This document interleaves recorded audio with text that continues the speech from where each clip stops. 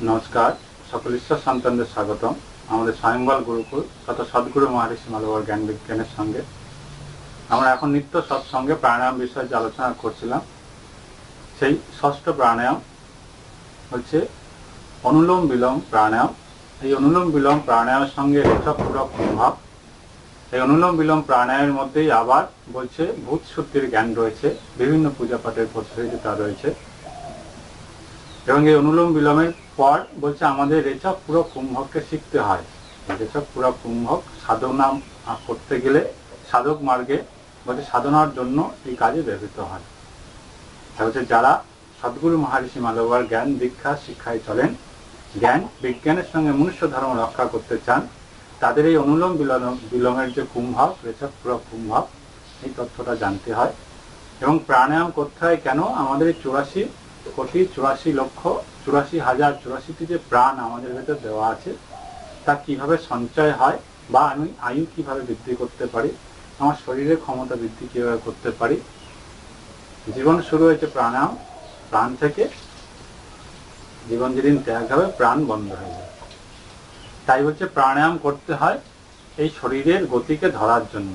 তাই সত্যযুগে সেই মন্ত্রে নারায়ণ পরবেদান নারায়ণ পরাক্ষরান নারায়ণ পরগতি নারায়ণ পরামুক্তি এখানে নারায়ণের গতিকে ধরেই মুক্তি পেতে হয়। তাই প্রশ্ন বলা হয়েছিল, এই পৃথিবী থেকে কি আসা যাওয়া করে? বা এই পৃথিবী ছেড়ে, দেহ পৃথিবী ছেড়ে বা এই পৃথিবী ছেড়ে কি বাইরে যায় এবং আসে? আপনি পৃথিবী থেকে কীভাবে বেরোবেন? কোন তথ্যে বেরোবেন? পঞ্চতত্ত্বের কোন তথ্য নিয়ে বেরোবেন? বলছে, মাটি যা পৃথিবীর বাইরে যাওয়া যায় না। সাধারণভাবে বাইরের কোনো ফোর্স যদি না পাঠায়, যেমন স্যাটেলাইট পৃথিবীর ম্যাটেরিয়ালদের তৈরি, সেটা বাইরে পাঠানো হচ্ছে। সেই ম্যাটেরিয়ালটা আকাশে গিয়ে কি করছে? একটা স্থান অবস্থান করে তার একটা কর্ষণ পৃথিবীতে পাঠায়। তার একটা কি বলছে? আমাদের মতো জ্ঞানীদের ব্যক্তি আধ্যাত্মিক জ্ঞানে বলছে, তার একটা ভক্তি, তার একটা জ্ঞান, তার একটা শক্তি মাটিতে পাঠায়। জ্ঞান, ভক্তি, কর্মটা পাঠায়। তাহলে হচ্ছে একটা স্যাটেলাইট কি করছে? তার কর্ম, তার জ্ঞান, তার যে কার্য, সে কার্য করছে। কিন্তু তারপরে পৃথিবীর একটা মাধ্যাকর্ষণ শক্তি আছে, যে শক্তি এই স্যাটেলাইটের শক্তির সঙ্গে কি করছে? সমতুল্য হচ্ছে না। তাই পৃথিবীতে এত দুর্যোগ বেড়ে গেছে, যত স্যাটেলাইটের সংখ্যা বেড়েছে, পৃথিবীতে তত দুর্যোগ সম্পন্ন হয়েছে। তাই পৃথিবীতে এত দুর্যোগ কেন?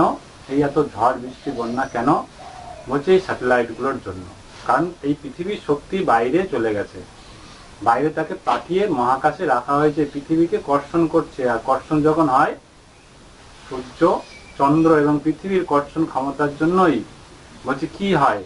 এই ভূমিতে চন্দ্রের ক্ষমতার জন্য পৃথিবীতে জোয়ার ভাটা হয়। সূর্যের ক্ষমতার জন্য কি হয়? এই পৃথিবী শক্তি উৎস ভান্ডার হয়। আবার রাত্রেবেলা ঠান্ডা হয়। আবার সূর্যগ্রহণ চন্দ্রগ্রহণের সময় শরীর এবং মনের বিভিন্ন রকম অবস্থান পরিবর্তন হয়। তাহলে বলছে, পৃথিবীর ম্যাটেরিয়াল যদি বাইরে যায়, তাহলে কি হবে? বলছে, পৃথিবীতে দুর্যোগ বেড়ে যাবে। তাই বলছে, এখান থেকে বাইরে কি নিয়ে যাবেন? যদি মাটি নিয়ে যান বা মাটি নিয়ে বেরোন, তাহলে আপনার পৃথিবীতে দুর্যোগ হবে। মাটি তত্ত্ব নিয়ে যারা বেরোয়, তাদের শরীরের রোগ, শোক, ভোগ, দুর্গতি হয়। আচ্ছা তারপরে জল। জল তত্ত্ব নিয়ে যদি বেরোন শরীরের কি হবে? শরীর হয়তো সরল ভক্তি ভাব হবে, কিন্তু তারপর হচ্ছে জলসায়ী হবে। বলছে আপনার সেই জল অ্যাসিডে পরিণত হতে পারে। তাহলে বলছে সেই জল, বলছে গাছ নিয়েছিল, গাছ তার সুমধুর রসে পরিণত করেছে। কিন্তু মানুষ ওই জলটাকে কারখানায় ব্যবহার করে কি করেছে? বলছে পলিউশন করেছে। তাই বলছে প্রাকৃতিকগত হবে না কৃত্রিমগত হবে। এখানেই আপনার আধ্যাত্মিক জ্ঞানের শিক্ষা। হচ্ছে আপনি প্রকৃতিময় যদি হতে চান, প্রকৃতির সঙ্গে চলুন। প্রকৃতির লয়, তাল, ছন্দের সঙ্গে চলুন। যদি কৃত্রিম হতে চান, তাহলে আপনার দুর্যোগ ক্ষতিগ্রস্ত হবেন, জগৎ এবং আপনিও ক্ষতিগ্রস্ত হবেন। আবার বলছে, বায়ু নিয়ে যদি বেরোতে চান, পৃথিবীর বায়ুমণ্ডলেই তার বায়ু আছে। পৃথিবীর বায়ুমণ্ডলের বাইরে সেই বায়ু নেই যে বায়ু আপনি ধারণ করে আছেন। যাকে সাধারণভাবে প্রাণবায়ু বলে থাকে তাহলে পৃথিবীর বায়ুমণ্ডলে আমাদের শরীরে রেডিয়েশন এখানে একটা ছবি আছে, সদ্গুরু মহারিষি মালবাবার সেই ছবির যে রেডিয়েশনের যে কথা, বলছে আমাদের পৃথিবীতে সেরকম বায়ুর রেডিয়েশন রয়েছে। বায়ু দ্বারা আবৃত সপ্ত স্তরে আবৃত বায়ুমণ্ডলে। যা পঞ্চস্তর আমরা সাধারণভাবে বলি স্ট্যাটোস্ফিয়ার স্টোকোস্ফিয়ার ওজোনোস্ফিয়ার বায়োস্ফিয়ার হচ্ছে এইভাবে বলা হয়েছে। কিন্তু আমাদের শাস্ত্রগত ভাবে বলা হয়েছে সাতটি স্তর পৃথিবীর বাইরে, বায়ুমণ্ডলে। তাহলে হচ্ছে এই বায়ু তত্ত্ব নিয়ে যদি বলেন, বায়ুমণ্ডলের মধ্যে ঘোরাফেরা করবে। যদি আলোক তত্ত্ব নিয়ে বেরোন, তাহলে বলছে সূর্যের গতিপ্রাপ্তি হবে। সূর্যের আলো পৃথিবীতে আসে, আবার রিফ্লেক্ট হয়ে চলেও যায়। কিছু আলো চলে যায়, কিছু আলো পৃথিবীর দ্বারা শোষিত হয়। তাহলে যেটা শোষিত হয়, সেটা খাদ্য, বিভিন্ন রস হয়ে আমাদের ওজ শক্তি ওজ শক্তি, সূর্য ওজ শক্তিতে পরিণত হয়। এই শক্তিকে ধারণ করতে গেলেই এই প্রাণের গতিটা দরকার। পৃথিবীতে যদি গতি না থাকতো, একদিকে সূর্য শক্তি থাকতো, একদিক অন্ধকার হয়ে জগৎ অন্ধকার হয়ে যেত। যেমন বুধে হয়। বুধের একদিক অগ্নিস্বরূপা, একদিক হচ্ছে বরফের মতো। একদিক গরম, একদিকে ঠান্ডা। তাই হচ্ছে মানুষের জীবনটাও তাই। যদি বোম বা আকাশ তত্ত্ব নিয়ে বেরোন বা শব্দ তত্ত্ব নিয়ে বেরোন, নাম সহকারে বেরোন, তাহলে আপনি পরক গতি পাবেন।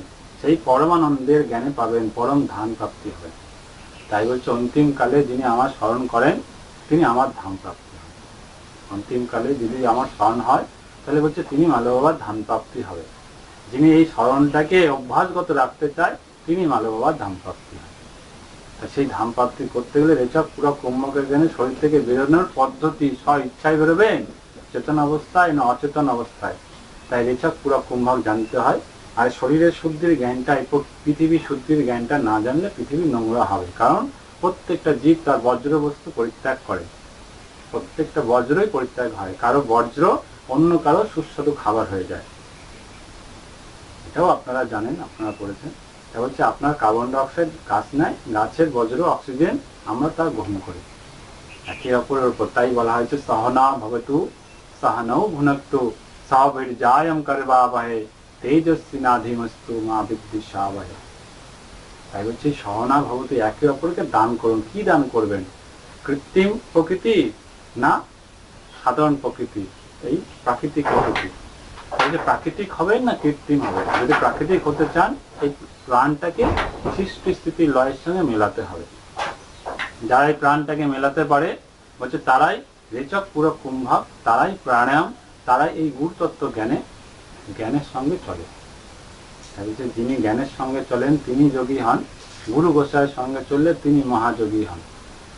যোগী তত্ত্ব, যোগী জ্ঞান, যোগী চিন্তামণি, বলছে, সর্বশাস্ত্র পায় যোগী হও। বলছে শ্রীকৃষ্ণ বলেছেন, হে পার্থ, তুমি সদা সর্বদা মনে চিন্তন করে তুমি যোগী হও। তাই যোগী হতে হবে। যোগ করতে হবে, নিত্য জীবনে যোগ করতে হবে। কি যোগ?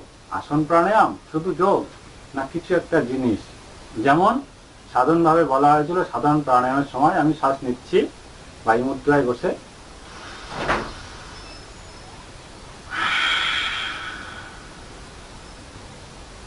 দু সেকেন্ড নিলাম, দু সেকেন্ড ছাড়লাম। চার সেকেন্ড নিচ্ছি। চার সেকেন্ড ছাড়ছি।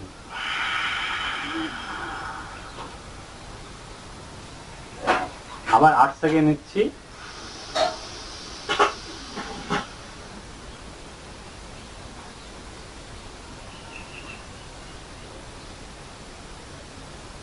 আট সেকেন্ড ছাড়ছি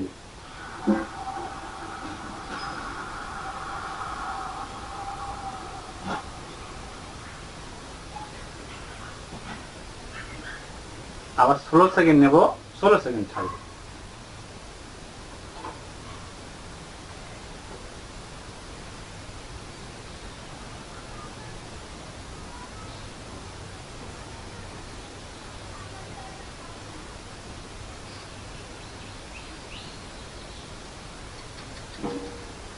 ছাড়বো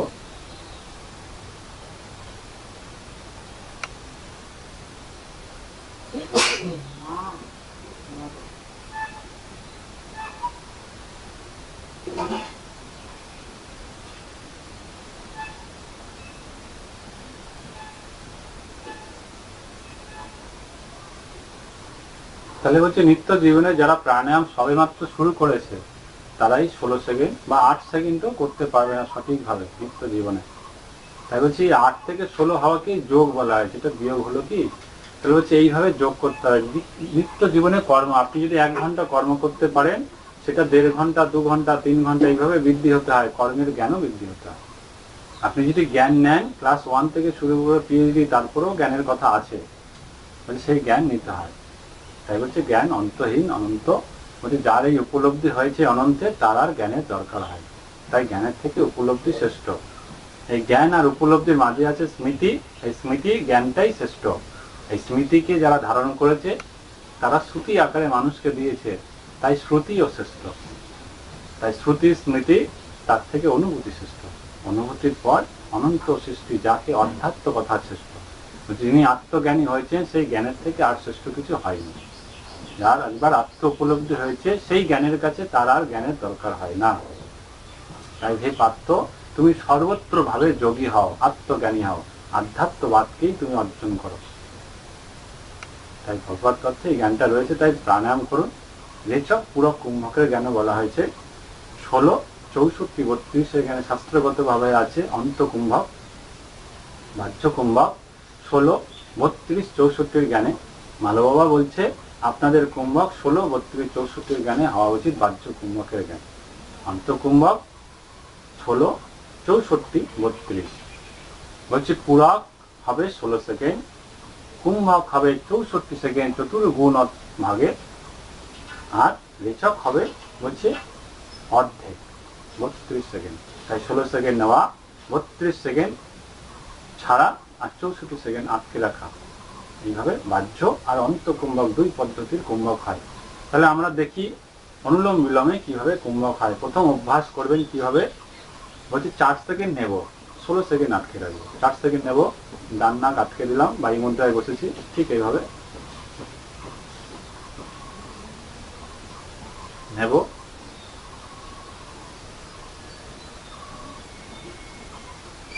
চার সেকেন্ড নিলাম, আট সেকেন্ড আটকে রাখব। ষোলো সেকেন্ড আটকে রাখব।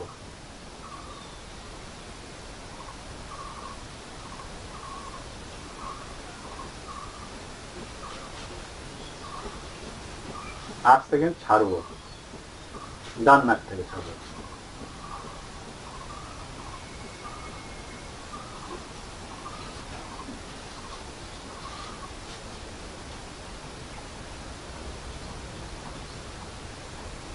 আবার চার সেকেন্ড নেব।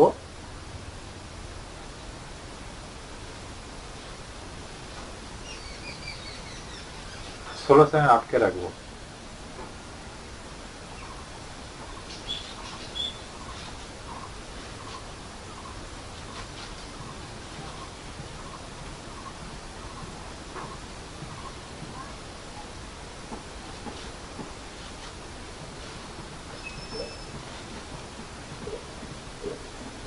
আট সেকেন্ড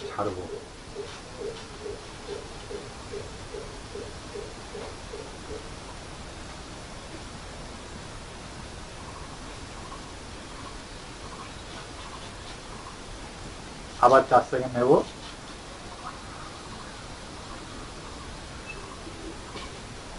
ষোলো সেকেন্ড আটকে রাখব।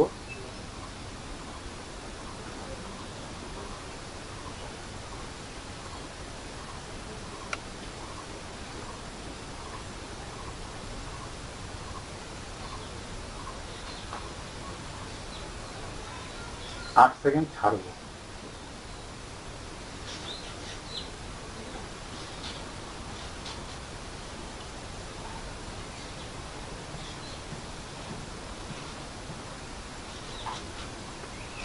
আবার চার সেকেন্ড নেব।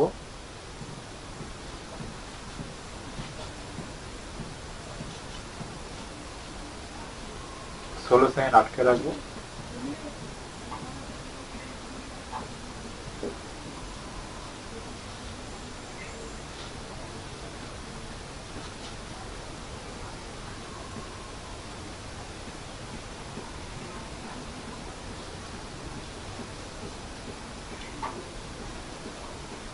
আট সেকেন্ড ছাড়বো।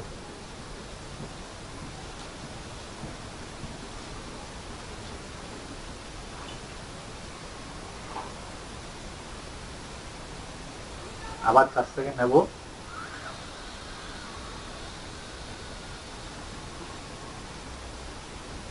ষোলো সেকেন্ড আটকে রাখব।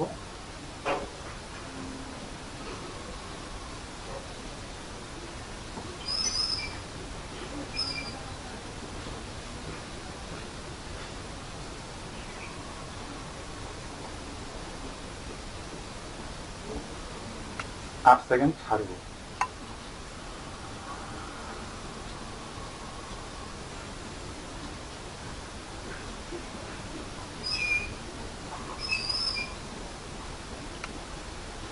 আবার চার সেকেন্ড নেব।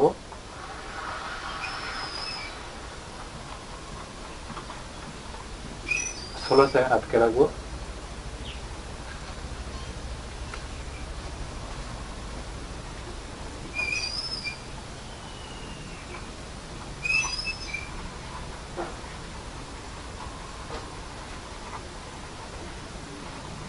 আট সেকেন্ড ছাড়বো।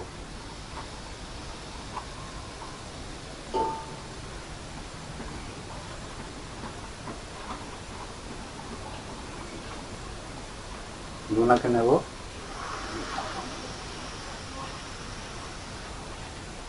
তোমাকে ছাড়বো।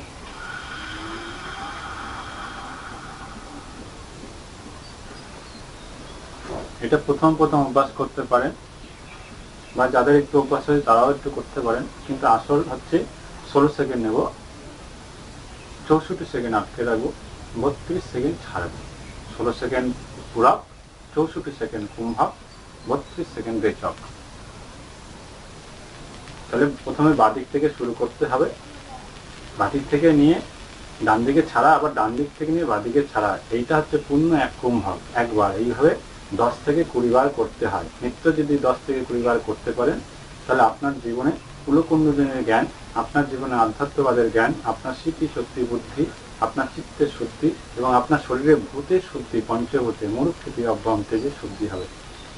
বায়ুমুদ্রায় বসে মধ্যমা আর অনামিকা এইভাবে ধরে রাখুন। বায়ুমুদ্রা এখানে বসুন। তর্জনীটা বৃদ্ধাঙ্গুলের নিচে থাকবে। দিয়ে বাঁ নাকটা ডান নাকটা চেপে ধরলাম বুড়ো আঙুল